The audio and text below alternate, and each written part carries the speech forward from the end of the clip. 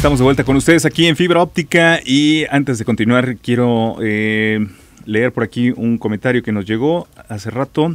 Nos dice saludos, muy buen programa. Solo una pregunta que me he formulado desde siempre. ¿Existe o existió una aplicación para poder ver las conversaciones de otra persona desde otro móvil en WhatsApp?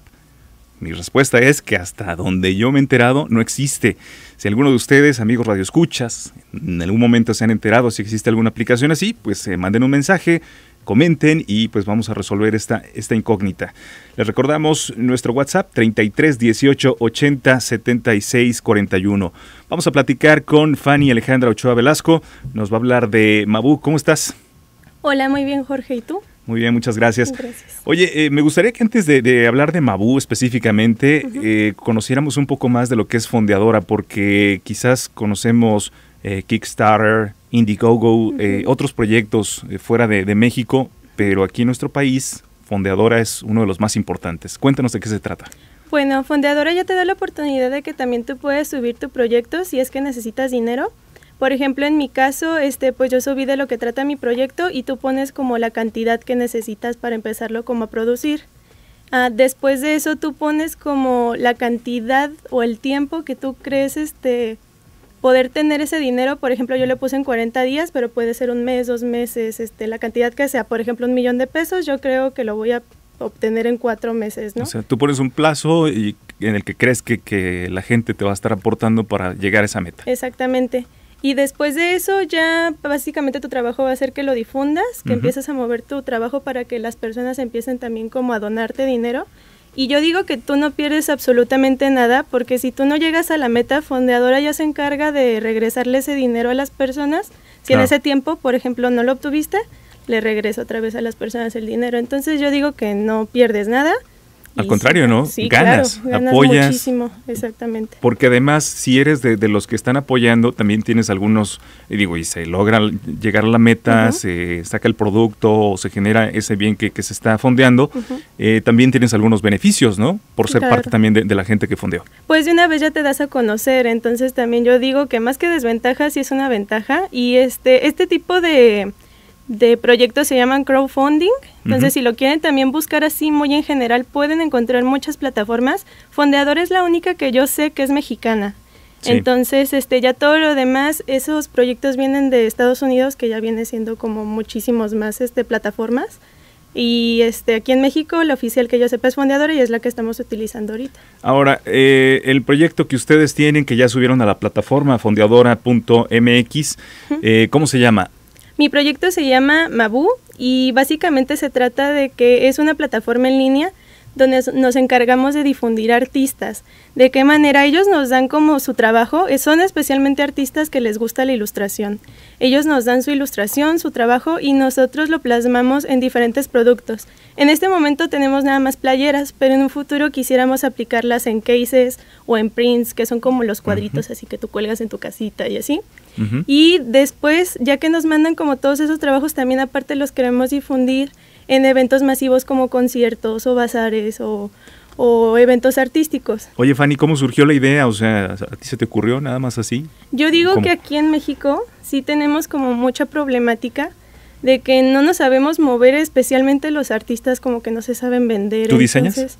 yo soy eh, diseñadora digital en la Universidad de Artes Digitales. Perfecto. Y, ahí, ahí justamente se te ocurrió, ¿no? Porque precisamente ahí en mi misma universidad hay animadores, eh, animadores de que estudian animación, no animadores de que animan una fiesta. Claro. Y este... Hay mucho talento. Mucho, muchísimo. Y yo no digo nada más en mi escuela, yo digo que en todo México hay muchísimo talento y que hay talento muy escondido y no sabe explotarse. Y yo digo que es por lo mismo, porque piensan de, no, pues si yo muestro mis cosas, pues México no me va a apoyar o cosas así, y no, todo lo contrario, debemos de, de formar como esa alianza, yo creo que todos, y formar una cultura como sociedad también de que pues necesitamos también como pues de los artistas para también sobresalir también como país, ¿no? Entonces, esa problemática fue la que a mí me llamó la atención y más porque debemos ahorita como de aprovechar todas las redes sociales, todo el internet, todo eso ahorita yo creo que es oro como para que no tengan esa voluntad todavía de darse a conocer.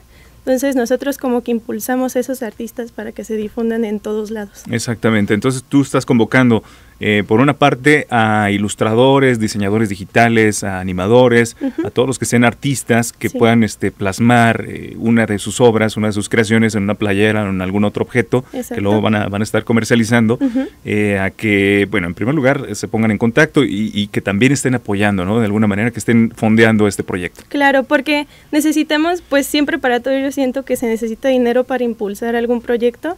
Entonces, pues yo soy un estudiante todavía, entonces necesito ese dinero. Y este, en realidad a mí no se me hace mucho, estoy pidiendo 25 mil pesos para 40 días. Entonces, las personas que deseen apoyar, pues en la plataforma es www.fondeadura.mx o tenemos nuestras redes sociales, nos pueden buscar como MabuMX en Twitter y en Facebook y ahí nos van a encontrar también. Oye, ¿y cómo se puede estar aportando? ¿Hay, este, algunas cantidades? ¿A partir de cuánto? ¿Y qué es lo que pueden obtener también? Eso es también un, beneficio que te da Fondeadora porque impulsas también a que, te, eh, como quien dice, tú lanzas como un pequeño anzuelo, ¿no? También para que te ayuden, o sea, no te vas a ir con las manos vacías si tú me ayudas. Por ejemplo, yo, si a mí me dan desde 100 pesos, yo empiezo a regalar como stickers a las personas que quieren, ¿no? Si me das de, 300 pesos, pues ya te regalo los stickers y te regalo un wallpaper o shalala, lo que sea, ¿no? Y ya 500 pesos ya te regalo tu wallpaper, tu sticker y una camisa. Por así decirlo, no me acuerdo muy bien de las recompensas, pero también estamos regalando sesiones fotográficas. Ay, muchas gracias, no me acordaba. Y este, sesiones fotográficas también y este eh, playeras y tazas también con las ilustraciones de nuestros artistas. Están muy padres por si quieren también checar toda nuestra información y todo nuestro social media para que lo chequen. Y pues es un agradecimiento también que le damos a la gente para ayudar. Exactamente, pueden entonces a partir de desde 100 hasta 5 mil, cinco mil o más, digo, no, no hay una, no hay límite. No hay límite realmente. Igualmente también ellos, si quieren dar hasta un peso, también es bien recibidísimo, ¿eh? no importa, pero como ellos gusten. Exactamente, y esa es la idea. Entonces, el, apoyar el diseño, el tener esta eh, manera de, estar eh, difundiendo el trabajo de, los artistas y eh, todo esto se va a estar comercializando en caso de que se concrete, que se llegue a esta meta en una tienda digital, ¿cierto? La tienda digital incluso ya la tenemos. Ah, ya la tienen. Y este ya estamos vendiendo, pero solamente un producto que es el que nosotros ahorita como que podemos sostener. El producto que ahorita tenemos es de una muchacha que se llama Susi Ríos y es, de hecho, ahorita te lo muestro, es un pug que está comiendo un helado y se vende así como pan caliente, ¿no? Les gusta mucho a las personas. Y precisamente queremos ese dinero para poder mantener otros diseños ahí. Nosotros y mm, le sirve muchísimo, de hecho, a las personas que tal vez quieran comercializar o quieran vender cosas. Yo, para no hacer una tienda en línea desde el inicio, desde cero, yo utilizo Kiching. Y Kiching ya te da por default, ajá, como toda tu, tu base así para que tú empieces a comercializar y tú nada más subes tus productos y ellos se encargan como de la paquetería y de los pagos. Tú no tienes que preocuparte de nada y nada más FedEx llega así como con tu este código, no me acuerdo cómo se llama, para ponerlo. Una guía, sí. Ajá, una guía. Y este, ya se lo das y todo con el producto y ellos se encargan de llevarlo al cliente. Entonces eso es una manera muy fácil de vender. Por si a alguien le interesa también bajar Kiching o enterarse de Kiching, yo lo utilizo y ahí es ahorita donde vendemos también las cosas. Sí, y se ha fomentado precisamente gracias a, este tipo de aplicaciones o estos servicios el comercio electrónico, ¿no? Hay mucha gente que pues simplemente no se quiere meter a hacer toda una, una página en Magento o en alguna otra plataforma. No, y es carísimo, aparte, hacer una, una, plataforma en línea es carísimo. Entonces, eh, están estas opciones, eh, como, como lo está mencionando Fanny, eh, por si en algún momento alguien más quiere aprovechar esta, esta oportunidad, pues también, ¿no? Que la aproveche. Oye, pues les deseamos suerte con, con este proyecto y ojalá que, que, se llegue a la meta. ¿Cuándo se cierra la convocatoria? La, pues la pusimos para 40 días, entonces creo que ahorita son como 39. No, no soy muy buena en matemáticas y no quiero que me dejes en ridículo en vivo, pero más o menos en un mes, 10 días. para que se apuren ¿no? y estén, estén donando. No se esperen tampoco al final, porque también puede que nos arriesguemos mucho también. este Entonces, eh, lo que ustedes gusten dar, o sea, no es necesario también como que nos den todo el dinero. Y pues más que nada quería decir que aparte de que estamos como distribuyendo o difundiendo a los artistas, también les pagamos por hacer lo que les gusta. Entonces, todo eso que estamos vendiendo también va este, económicamente, pues se le paga al artista. Claro, le retribuye y bueno, pues está eh, haciendo también crecer una comunidad de artistas eh, mexicanos, se le da difusión a todo su, su trabajo, sus diseños Eh, así que bueno, ojalá que haya también eh, no solamente particulares, ¿no? sino alguna empresa que quiera apoyar, que quiera eh, pues fomentar también el, trabajo de, estos artistas y que apoye para llegar a esta meta. Sí. ¿Algo más, Fanny? Pues nada más que nos apoyen, sería una muy buena necesidad para todos, cubriríamos una necesidad todos, yo creo que este, esto nos conviene a todos como, como sociedad, entonces a quien no le gustaría ver a México como un icono cultural, si, si, si de por sí ya se ve así, entonces necesitaríamos como reforzarlo un poco más y qué mejor que con este tipo de proyectos locales. Ahí está, entonces es Mabu. Mabu con B grande.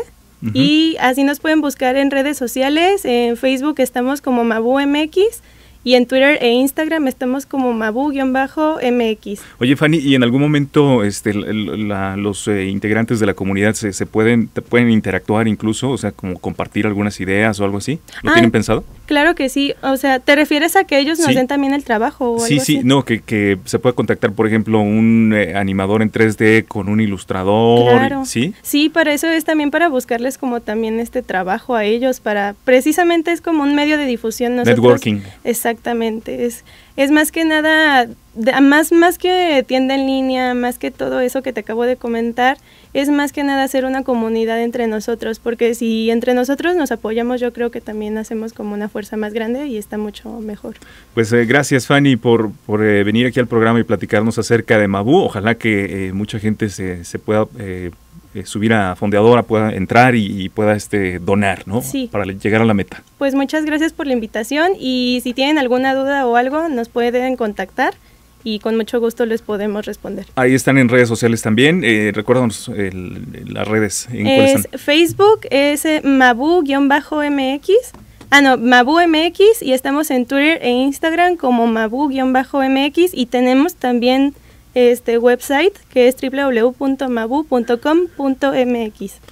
Bien, nos vamos a la pausa y eh, antes eh, comento esto que nos envió Carlos Aguilar. Nos dice, no existe la aplicación que deje ver las conversaciones desde, eh, desde que WhatsApp metió la encriptación. Lo que puede hacerse es que lo que quiere para cuidar lo que hacen sus hijos es instalar un keylogger en el celular, en el celular obviamente de su hijo, este le permite ver lo que escribe. Así que es lo que nos dice Carlos Aguilar. Gracias por la aportación. Nos vamos a la pausa, regresamos con más aquí en Fibra Óptica.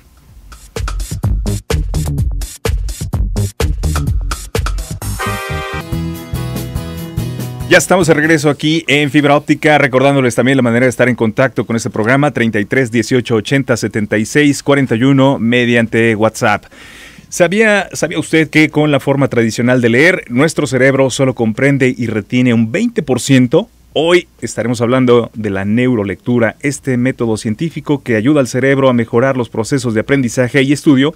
Y para esto nos acompaña nuestro buen amigo licenciado Antonio Hernández, especialista de avance, lectura avanzada. ¿Cómo estás, Antonio? Muy bien, Jorge. Contento de estar nuevamente en el programa. Oye, Antonio, ¿por qué a nuestro cerebro se le dificulta concentrarse, comprender y sobre todo retener la información? Sí, mira, ahorita que estamos terminando precisamente el año escolar, muchas mamás eh, precisamente nos, nos, dicen, no, mira, a mi hijo se le olvida lo que estudia, eh, tarda horas estudiando para un examen, la lectura le da sueño, eh, tiene que releer lo que, lo que lee y en fin, o se tarda mucho tiempo para poder procesar la información. Recordemos un poquito lo que hemos estudiado en el colegio, ¿cierto? Cuando nos hablaban del cerebro, los dos hemisferios. Y lamentablemente en la, en la mm, educación tradicional se estimula más el hemisferio lógico que el hemisferio creativo. Pero hoy ya se descubrió, gracias a la neurociencia, que el cerebro aprende más fácil utilizando el hemisferio creativo. Entonces, ¿qué necesitamos? Potencializar más esa parte de nuestro cerebro donde está la creatividad, la imaginación, la parte ilógica de las cosas. Igualmente sucede con los profesionistas. Hoy estamos, Jorge, bombardeados de información. Sí, estamos, estamos casi todo el día conectados. O estamos en una página web, o estamos revisando un correo electrónico, o estamos revisando los mensajes de texto, estamos en un WhatsApp, estamos en Wikipedia, estamos en una red social, y todo eso es lectura. Entonces, hoy es muy frecuente encontrar a un profesionista que nos dice, mira, cada día el trabajo se me hace más estresante. ¿sí? Cada, día tengo menos tiempo para hacer lo que más me gusta.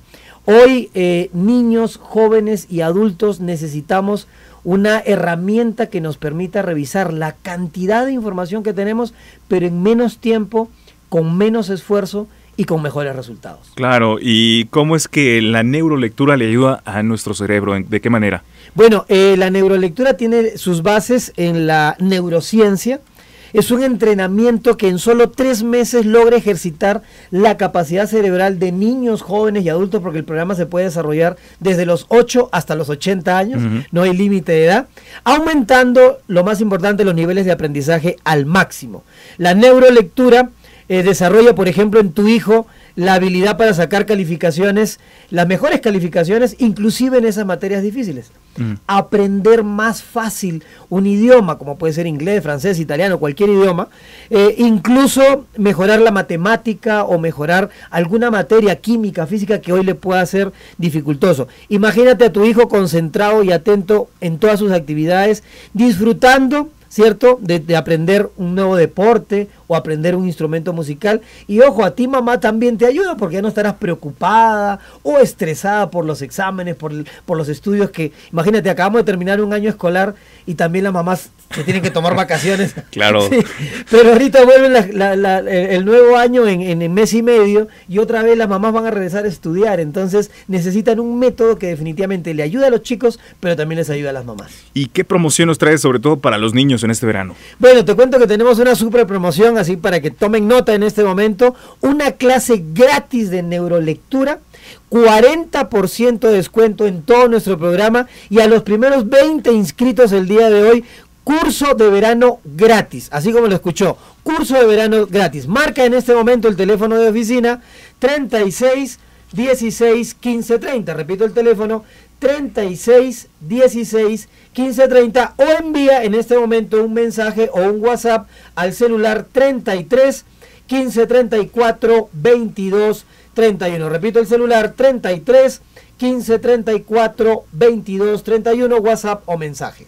Oye Antonio, eh, ¿cuál es la capacidad normal de nuestro cerebro para estudiar, aprender o, leer? Bueno, te cuento, eh, más de 100 mil millones de neuronas está en este músculo de aproximadamente kilo y medio. Y cada neurona puede conectarse con otras 10.000 neuronas. Entonces, eh, el potencial, imagínate el potencial que realmente tiene el cerebro. Es absurdo creer que nos falta capacidad para concentrarnos, para comprender o para retener lo que leemos.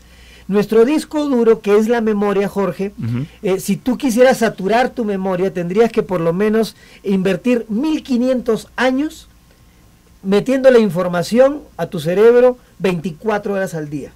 Entonces no es fácil aceptar, hombre, que se te olviden las cosas, que te pongas nervioso para un examen, que se te olviden las llaves y no sepas dónde las dejaste. O sea, no es falta de capacidad es falta de entrenamiento. Nuestro cerebro es una máquina que puede procesar información a gran velocidad, comprenderla y retenerla. Entonces, ¿qué necesita el cerebro? Estar lo suficientemente entrenado. Eso es lo que realiza la neurolectura, un programa de entrenamiento que, como te decía, dura aproximadamente tres meses, pero en esos tres meses vas a tener comprensión, concentración y retención al 100%, vas a poder leer eh, toda la información que requieras en menos tiempo, con menos esfuerzo, pero con mejores resultados. Antonio, recuérdanos la promoción que tienen para este verano. Así es, para niños, jóvenes y adultos, una clase de neurolectura totalmente gratis para que conozcan cómo funciona el programa, cómo es el entrenamiento. 40% de descuento en todo nuestro programa para los que quieran tomarlo. Y a los primeros 20 inscritos van a tener curso de verano gratis que empieza el 18 de agosto y termina el 20 de julio. Un son cinco semanas de curso de verano gratis para todos los interesados. ¿Qué tienes que hacer en este momento? Puedes marcar el teléfono de nuestra oficina. 36 16 15 30 es el teléfono, repito, 36 16 15 30 o envía en este momento un WhatsApp o un mensaje al celular 33 15 34 22 31. 33 15 34 22 31.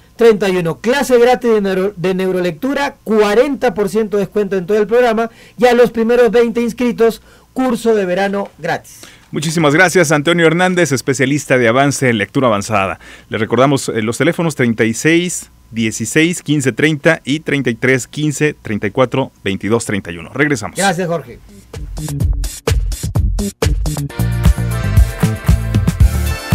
Estamos de vuelta con ustedes aquí en eh, Fibra Óptica y es momento de platicar con Juan Pablo Altamirano. ¿Cómo estás, Juan Pablo? Muy bien, Jorge. ¿Y tú? ¿Cómo les acabó de ir Muy bien, esos cinco. Muy bien, muchas gracias. Las conferencias muy interesantes y bueno, pues eh, eh, un gusto ver ahí también a la gente, ¿no? Reunida. Sobre todo que este pues se dieron el tiempo, ¿no? Para participar este con el festejo. Exactamente, vengan esos cinco. Al final de cuentas hay que festejarlo con los cuates, en este caso pues con los escuchas, ¿no? Sí, y todavía nos siguen llegando por aquí algunos, algunas felicitaciones, les agradecemos a todos eh, sus comentarios, eh, sus buenos deseos, porque desean, dice que, desean muchos años de, de, Zona 3, así que gracias. Pues aquí seguimos. Oye, Jorge, quedó, quedó, pendiente precisamente, ¿no? El tema de marketing 3.0. De hecho, empezábamos a hablar del, este, ahora sí que el viernes, justamente de los festejos, pero pues obviamente hay que retomar algunas cosas, pero si me permites tantito, obviamente este, haciendo alusión a lo que está justamente ahorita en redes. Eh, oye, ¿tú te consideras generación, eh, ya no sé si es Pokémon o Pokémon, pero bueno, este, eh, de estos este, vírgenes a los 40, ¿no? Este, eh, Digimon y Goku, y por mencionar solamente algunos. Eh, no, no tanto, ¿eh? No, yo, yo también platicaba hace rato en la, a la hora de la comida con un compañero de trabajo y le decía, este, no, yo bendito Dios, a mí me tocaron los amos del universo, los Thundercats, este, sí, los, eh, ¿cómo se llama? Los caballeros del zodiaco. Pero ya cuando vinieron estos capítulos de esa serie que se llamaba Los Supercampeones, en las que pasaban tres semanas para que la pelota llegara de una portería a la otra, así dije, ay, nos vemos, yo ya, este, yo, yo aquí ya no juego, ¿no? Oye, no, lo pregunto porque, eh, pues, para, se, se desató el tren, la verdad es que eh, va a velocidades impresionantes. Para todos aquellos que quieran jugar el famoso lanzamiento eh, de Pokémon Go, en México o en América Latina. Eh, de acuerdo con la revista Business Insider, todavía se van a tener que esperar un poquito porque no está habilitada la plataforma justamente para este país. Eso no quiere decir que no puedas descargar ya la aplicación. Mm. Nada más que si eh, hacen por ahí una recomendación que tengan mucho cuidado porque al parecer, pues para no variar, algunos vivales este, se colgaron ahí en la plataforma Android. Eh, ya ven, por eso yo prefiero este iPhone Rules, aunque aquí a nuestro amigo de las noticias este no les no le guste al buen Gabriel, pero este pues tengan cuidado si descargan una eh, si descargan esta aplicación corren el riesgo de pues llenarse de malware en su teléfono para que tengan por ahí este especial atención. Eh, según Reuters, esta, esta nota, ojo, es al viernes, o sea, el corte es al viernes de la semana pasada las acciones de Nintendo habían subido solamente por esta aplicación 10%. En términos de redes sociales, se habla, no he podido yo validar este dato todavía, ojo, pero eso digo, se habla en redes sociales, de que el número de cuentas activas de esta aplicación de Pokémon Go ya supera a Tinder a nivel global. Así es, y en pocos días. exacto, entonces, pues creo que la cosa este, se viene eh, dura, ¿no? Por ahí empezaron a circular algunos supuestos videos y algunos testimonios donde había gente en los Estados Unidos o en Australia, en Nueva Zelanda, que es eh, solamente donde se ve, eh, donde estaba ya funcionando esta plataforma, de supuestas personas que por tratar de capturar uno de estos este, demoniositos, eh, habían, habrían perdido la vida. No hay tal, la verdad es que este, Nintendo dice que no es cierto. Al final de cuentas, bueno, pues todo esto va en función de alimentar más eh, el morbo y obviamente parte del merchandising que tiene que ver con eh, pues lanzar una aplicación exitosa como es este de Pokémon para todos los que pues les tocó vivir esta justamente esta generación y bueno relacionado a este tema es que entonces sí podemos si quieres Jorge si me lo permites tú estimado escucha retomamos este concepto de marketing 3.0 que no es nuevo eso hay que decirlo no no es nuevo no hay nada nuevo bajo el sol Simplemente son algunos upgrades que se le van dando a las definiciones por el rumbo que van tomando justamente las actividades relacionadas a esta. Y entonces, bueno, decíamos que eh, la semana pasada el marketing 3.0, hay quienes dicen que hoy este marketing se basa más en los valores de la sociedad y entonces busca reforzar la imagen integral de la persona, así como la de crear un mundo mejor y más equilibrado eh, para todos. Busca evidentemente mejorar también dentro de, este, de estas actitudes o actividades, mejorar el medio ambiente y retoma tendencias de lo que alguna vez se conoció como eh, green marketing para reforzar obviamente los productos y las campañas. La parte interesante de esto es que toma una parte muy poderosa de lo que es el marketing 2.0 en el momento en que existe ya una interactividad con, este, con el usuario, o bueno, dicho de otra forma, con tu cliente, para que entonces a través de los blogs, obviamente de los sitios de internet, de las cuentas este, en Facebook, de LinkedIn, Twitter, YouTube, la que ustedes mencionen, pues obviamente tú puedes publicar contenido que sea de calidad para el cliente potencial al que te quieres dedicar y no solamente sea llamar la atención y decirle al cliente, hey, ¿por qué no nos regalas un clic y nos sigues? Eh, ya no funciona así, digo, ya lo hemos hablado hasta el cansancio justamente en este, eh, en este programa, pero bueno, dentro de esto me puse un poquito más a investigar la parte teórica, porque la parte práctica, pues muchos de nuestros radioescuchas seguramente se dedican a la parte eh, del marketing y obviamente están empapados en la materia. Pero bueno, ¿cómo no recurrir entonces al gurú, al señor este, Philip Kotler, en la que él tiene mandamientos para prácticamente cualquier versión, este 2.0, beta, eh, non grata y pirateada, claro. Es el padre del marketing. Y bueno, él propone 10 mandamientos justamente para el marketing 3.0, en el que parte de que las nuevas tecnologías y el desarrollo del Internet, obviamente incluidas las redes sociales, han permitido que los clientes ahora se expresen eh, libremente sobre las empresas y las experiencias de consumo. De nada les va a servir tener la publicidad más bonita si los valores de la compañía no son creíbles y no forman parte del ADN de estas. Lo voy a explicar con un ejemplo bien sencillo. Hoy día, gracias a este fenómeno del marketing 3.0, las dos televisoras más importantes, bueno, sí, las dos televisoras más importantes de este país, el barco empieza a hacer agua porque hoy hay muchísimas plataformas de eh, video on demand para que pues tú puedas ver los contenidos que tú quieras, a la hora que tú quieras. Incluso puedes grabarlos y no necesito estar viendo, eh, pues ahora sí que contenidos que pues contradicen mi manera de pensar o simplemente este, mi escala de valores. Lo mismo le está empezando a, suceder ya este, a las telefónicas ya no es solamente el servicio de, eh, pues vaya, hablar por teléfono como nos tocó en la década de los ochentas. Ahora, pues yo me atrevería a preguntarle, estimado escucha, ¿cuántos de ustedes, si no es por una razón fiscal, cuántos de ustedes aún tienen una línea de teléfono fija? ¿No? Que eso, es, eso sería un dato bastante interesante. Y repito, que no fuese por una cuestión fiscal. ¿no? Este, hoy día con el streaming probablemente no necesito una, un teléfono fijo. Y en Estados Unidos es eh, ya una realidad que son muy pocos teléfonos de líneas fijas. Eh, fíjate, en Estados Unidos se habla de que es poco, casi le pegan al 30% de líneas fijas en comparación con el número, este, en 300 millones de habitantes que tiene los Estados Unidos, ¿no? Eso si lo comparamos contra las líneas celulares. Exacto. Caray, este, estamos hablando casi de pues 4 a 1, ¿no? Entonces, y esto va todavía ir, eh, todavía va a ir creciendo. Pero bueno, vayamos a los 10 mandamientos. Primer mandamiento del señor Philip Kotler en términos del marketing 3.0. Ama a tus consumidores y respeta a tus competidores. Híjole, caray, Jorge, es increíble cuántas empresas en esta ciudad de Guadalajara, ya no ni siquiera hablar del país, en esta ciudad de Guadalajara, siguen sin respetar a sus consumidores. Y si tú preguntas o pides referencias sobre la competencia, siguen cometiendo el error en imagen pública de ponerte a hablar, de ponerse a hablar mal de la competencia, cuando lo único que evidencian es pues hablar mal de la misma marca la que ellos representan, ¿no? Hoy la gente ya no tolera este tipo de bullying.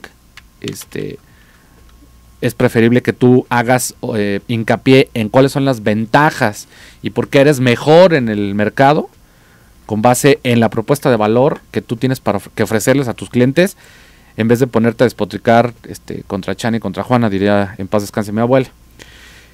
Segundo mandamiento, hay que ser sensibles al cambio y prepararse para la transformación.